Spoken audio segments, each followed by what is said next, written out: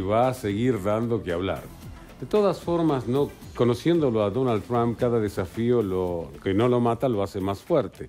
Igual de todas maneras habrá que saber o ver los resultados en las elecciones de noviembre.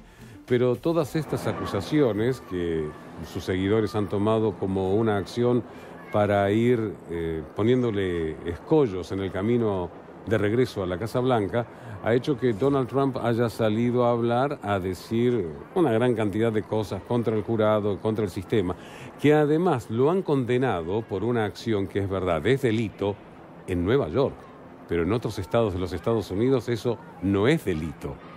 Pero bueno, fue condenado.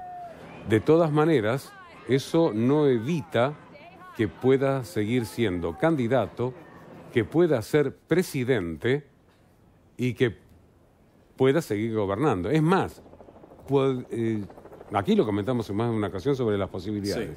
Puede estar preso y ser presidente de acuerdo a la ley. Sí, eso es lo llamativo, o por lo menos a, mí me llamaba la atención que, desconocía justamente ese dato, por lo que todo indicaría que, o pareciera ser que, que nada detendría la carrera de Donald Trump y, y, en base a esto tienen sustento sus palabras, ¿no? Que dijo la verdad se va a saber el 5 de noviembre, cuando, claro, se den las elecciones y cuando vote el pueblo. Exactamente. Recordamos igual, de todas formas, que el pueblo de los Estados Unidos no vota candidatos, vota electores. No tienen democracia directa. Entendamos mm. eso. ¿Está claro? Porque en las elecciones donde él resultó presidente, por cantidad de votos, ganó Hillary Clinton, no Trump. Depende mucho de los estados en ese caso, ¿no? De, qué estado ganás, no la totalidad de, de Ojo, igual los abogados van a apelar esta, mm. esta resolución del jurado. Y además le podrían corresponder como cuatro años de prisión, pero que no va a ir a prisión y que de seguro, según están comentando por ahí, pagará una multa, que mucho no le va a costar pagar pero... Ya ha pagado multa, ¿no? Recientemente por agravios a, Pero en realidad no es por su relación personal con una mujer o una eh, estrella porno. Es por el modo de facturación. No es su vida privada.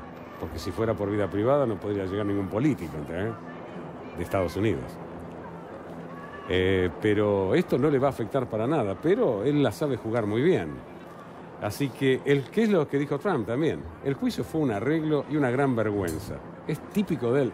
Es muy televisivo. ¿Se acuerdan cuando decía You're fire? Cuando tenía un programa de televisión y era famoso por eso.